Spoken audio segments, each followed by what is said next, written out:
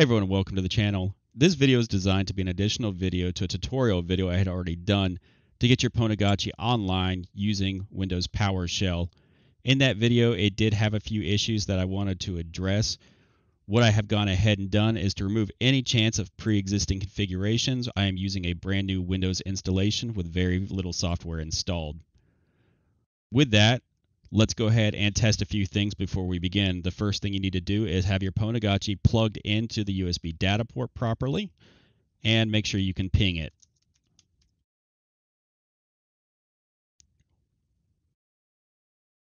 Once we have a verified ping, we want to make sure we can SSH into the device.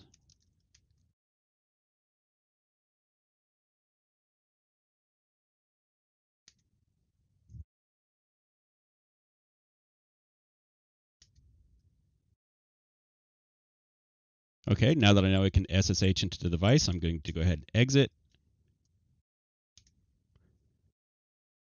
And I'm going to go ahead and close this out. Now what we need to do is download a PowerShell script. I will provide this link in the description box below. All you need to do is come to this script, click on this download raw file, Select Keep if this shows up. Minimize your browser. So we're going to come over here. We're going to type PowerShell. Right click on it. Run as administrator. Select Yes.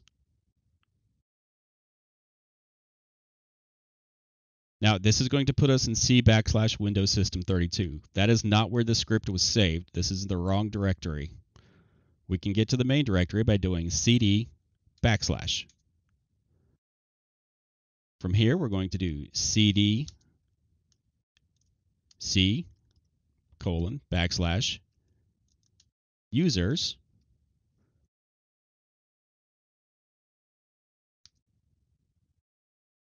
and I just did that by tabbing. So that'll be the name of your computer. This one just happens to be called CyberCat Labs. So whatever the name of your computer is, and then I want to go to downloads.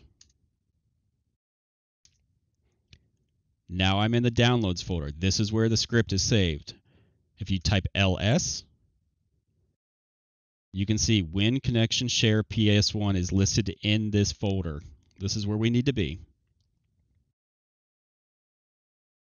So let's go ahead and clear the screen. The next thing we need to do is run our commands. I'm going to make this window just a little smaller.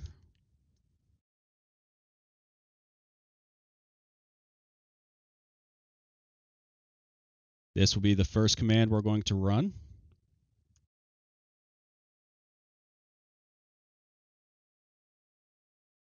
You can paste just by right clicking. Go ahead and enter.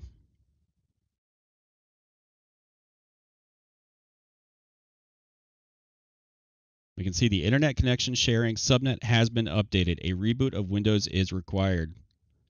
I'm going to go ahead and ignore that. You might have to restart if it doesn't work for you.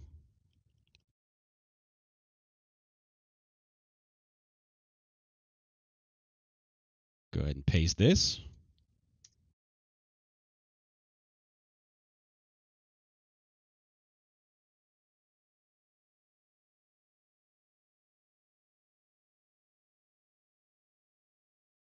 Please select your main Ethernet adapter with internet access. So that's going to be my Wi-Fi adapter. That's the one that has the internet access currently, which leaves just the RNDIS gadget or number two.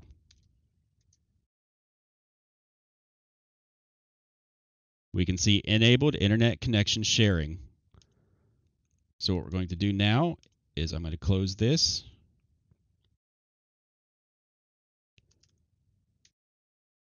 SSH back to the Pi.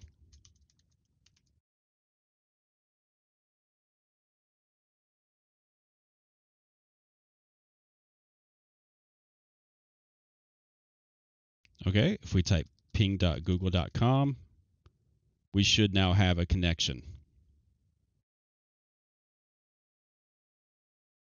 Now, again, if this doesn't work for you after you have run this top script, go ahead and reboot and then try to run the second script.